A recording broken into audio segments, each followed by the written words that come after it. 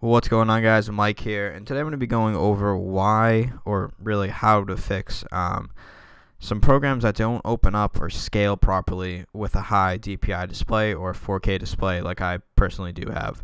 Um, I have a laptop, an XPS 15 Dell uh, with a 4K touch display, and you absolutely like looking at the display. It's absolutely incredible. Um, it's crisp as hell. It's it's beautiful, but unfortunately you do compromise a lot, uh, which I was not really aware of. I didn't really read much about this before I purchased this laptop.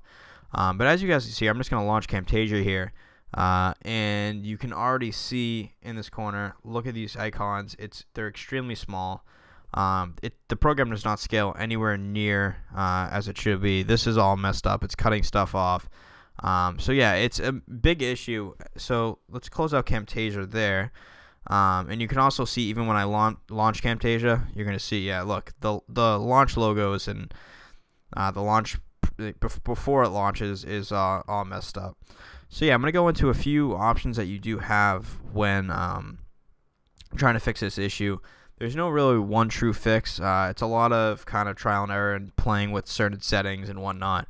Um, but yeah, let's go over those uh, few settings that you should definitely play with and uh, give it a shot. I haven't actually had Camtasia working 100% to my satisfaction, but I did have, um, you know, when I do need to edit video, I, I compromise some resolution, um, and with a lower resolution, obviously, and uh, mess around with a few magnifying settings, and I make it work. So right click on properties on the program that you're trying to uh, fix uh, rather that's not scaling correctly.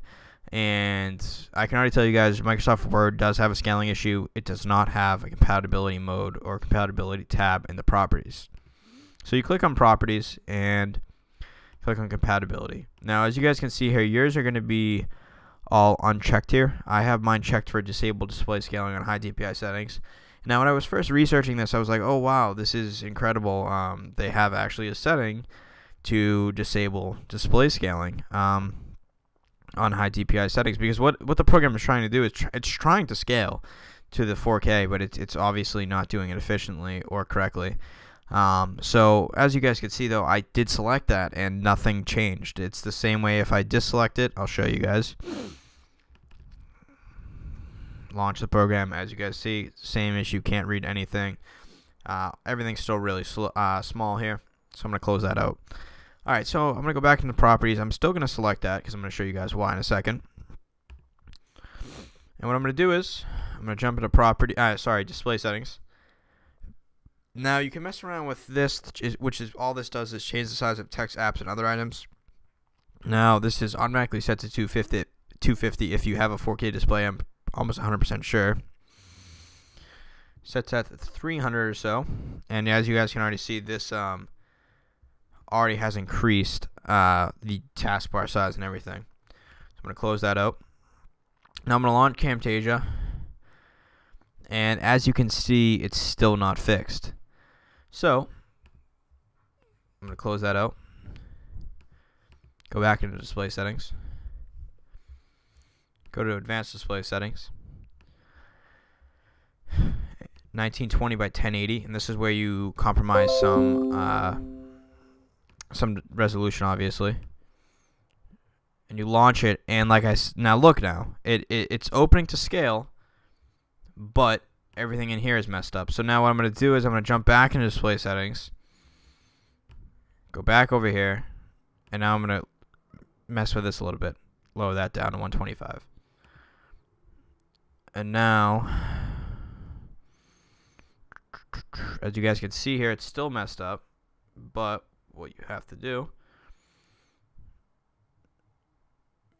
minimize this a little bit, take the magnify out.